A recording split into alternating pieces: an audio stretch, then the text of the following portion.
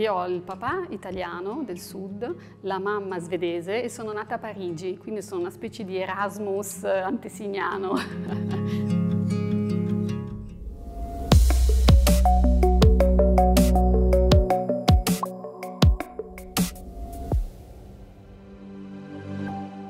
Lavoro al Politecnico e coordino un laboratorio di ricerca che si chiama Material Balance al Dipartimento ABC. È un laboratorio che lavora sui materiali innovativi, sulle tecnologie, tutto quello che oggi forse ci richiede l'ambiente e l'architettura in generale. Anche l'architettura ha proprio bisogno di sperimentare, no? si dice che le mani pensano, di capire come sono, di toccare i materiali, perché tutti i sensi sono coinvolti quando si sta in un ambiente. Allora la possibilità di avere un laboratorio qui al Politecnico che faccia queste cose vuol dire che l'Ateneo ci crede, vuol dire che c'è spazio, vuol dire un modo di vedere l'architettura all'avanguardia e dare l'opportunità, secondo me, anche ai ragazzi e ai ricercatori di avere delle infrastrutture come ci sono un po' in tutto il mondo.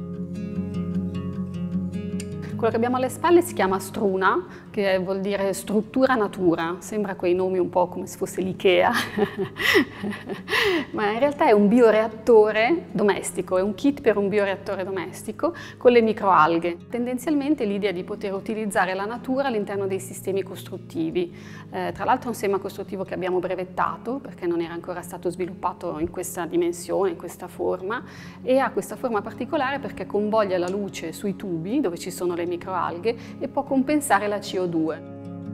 Sicuramente rispetto agli spazi del campus adesso non c'è paragone, c'era proprio, dovevi venire la mattina presto, eh, tenere i posti, era molto più rissoso il momento di arrivo in aula perché c'era la gente con i cappotti, con 10 persone, tantissimi amici, colleghi, architetti li ho conosciuti per aver cercato di prendere il posto col cappotto e a un certo punto tutti si sedevano comunque. Qualunque cosa apro, ne farei un miliardo, non so, comincio a leggere libri su qualcosa, dall'arte al design, allo sport, alla lettura. Direi che è un settore che sembra così leggero, ma in realtà comunque è un settore duro, perché se pensiamo al cantiere, eh, che è un luogo dove ci sono tantissimi operatori di tutte le nazionalità, è un luogo duro alla fine, quindi credo che sia comunque importante, ecco, che anche essendo donna, avere gli strumenti per poter affrontare tutte le fasi del processo in architettura eh, sia importante, ecco, sia importante trovare l'energia per non rinunciare.